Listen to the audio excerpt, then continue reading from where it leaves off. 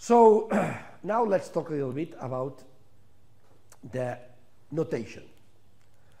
The notation that we have used so far is that one, sigma ij. Okay, so this is a way to represent this. If I, instead of constructing the three planes that pass here, plotting on that would be a mess.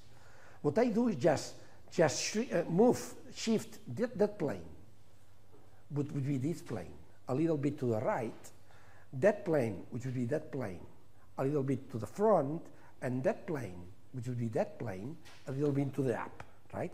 And this constructs this unit cube, okay? The size doesn't matter, in which I can plot the three components of the, all the components of sigma. Sigma, that is the three components of the traction vector on that. So sigma 1, 1 would be the normal compaction, the x compaction. This will be sigma 1, 2, the y, or x2 component, sigma 1, 3, the x3. Sigma 2, 2 will be that, sigma 2, 3 will be that, sigma 2, 1 will be that, and this will be that. Okay? By the way, you can see maybe it's a little fuzzy, fuzzy here. You see that here there are plot the stresses on the opposite plane when I take the normal negative name, okay?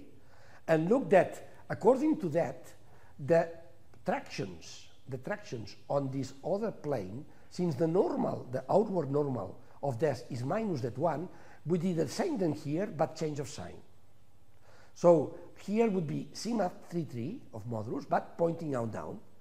That would be sigma 3, 1 pointing that one, and that would be sigma 3, 2, but pointing that 1. Because, of course, in virtue of this equation, when I change the n to minus n, the components have to change the sign. Okay? So that's why they are plotted in that way. But let's look for these plan planes that we call the visible planes, because are the planes that I see from the positive part of the, octa of the octant. Okay? Look, then, according to that, I can say, well, sigma ij, what does sigma ij mean? If I wanted to know where of these vectors are sigma ij, I say, okay, look, i indicates the plane on which the traction vector uh, uh, acts. So 1, i equal 1 provides sigma 1, 1, 1 here, the three components of the, of the traction vector acting on plane, on the plane which is orthogonal to E1. Here, the first index of the three components are 2. So means they mean that they are components of the traction vector on the plane which is normal to E2. And here, the three components start with 3, which means that they are components of the traction vector acting on plane normal to E3. So, we have defined what the stress, the stress tensor is. A very fundamental, the most relevant concept for engineer, I think, for civil engineer. Our designs rely pretty much on what is the stress distribution in our designs, structural designs. I mean, structural and fluid, many effects. So very important concepts. It's so important that this is an engineering concept that has passed to science and not the uh, other way, other, other, other way. So in principle, even engineers have used their own notation, our own notation, which is the following. Instead of using sigma 1, 1, sigma 1, 2, sigma 1, 3, we use that one that you will recognize, sigma x, sigma y, sigma z. What are sigma x, sigma y, sigma z? Are the normal stresses at every plane. And tau xy, tau xz, tau yz, tau yx, tau zx, tau zy are the tangential stresses. Of course, there is a one-to-one -one correspondence between these and that. And that one is the following. The normal stresses on the planes are called sigma. And the tangential stresses on the planes are called tau. The sigmas have only one subindex, x, y, and z, indicating what is the plane where they are normal for to. Sigma x normal to plane x, so following direction x. Sigma y follows direction y. Sigma z are normal stresses following directions x, y, and z. And tau AB have two indices. The first index indicates the plane on which the stress is acting, x here, y here, z here. And the second one indicates the direction of this tangential stress. So both are good, both are important, and we will use as engineers both. When we do mathematical operations, sometimes using indicial notation, it's easier for us, because this is appropriated to that, using that notation.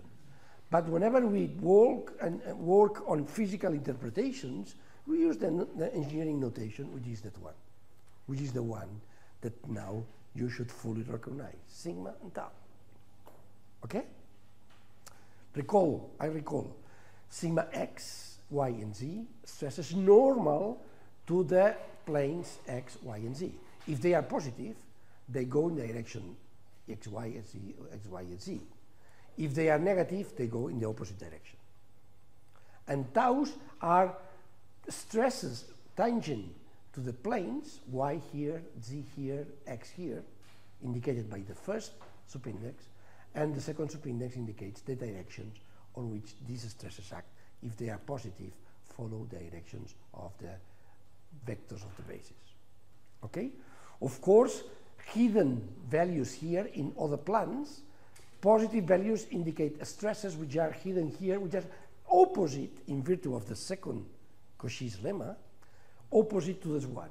So the normal stress here should be of intensity sigma x, but in this sense.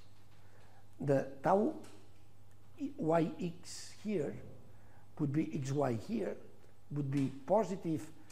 If it's positive, will follow the directions contrary on the xy.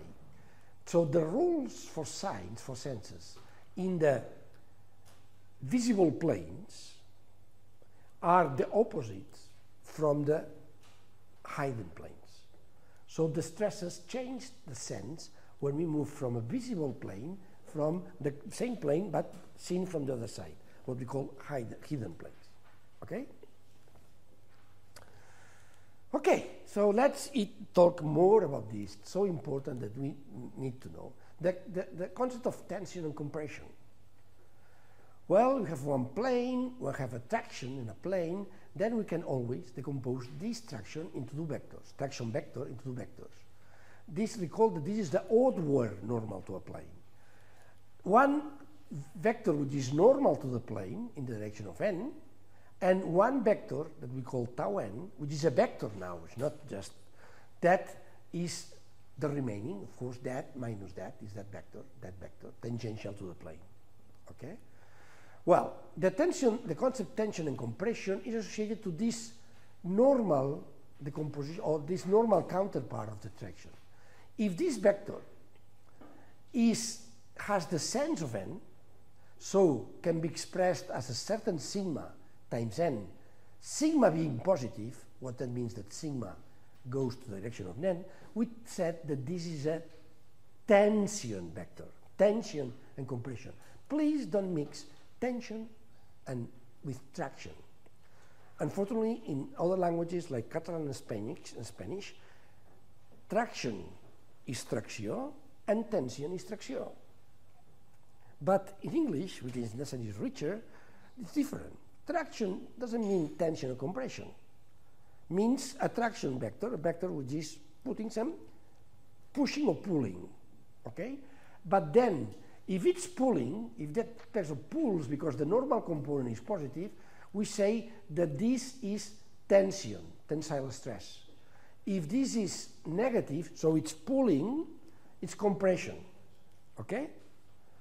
So this traction can have a normal component which can be tensile or compressive, dependent on if it's pulling or, pushing, or pushing the, the, the, the plane. Okay? So that this allows to define the criteria for the stresses, saying the normal stresses, sigma x, sigma y, sigma z, are positive if they, they are tensile. Okay? In the, if they are tensile, and this holds for all planes, even for the hidden planes. For the hidden planes, if they are positive, if sigma x, sigma y, sigma z is, is zero, uh, is, is positive, then the normal stresses are tensile stresses, are tensile not only in the visible planes, but also in the hidden planes. Okay?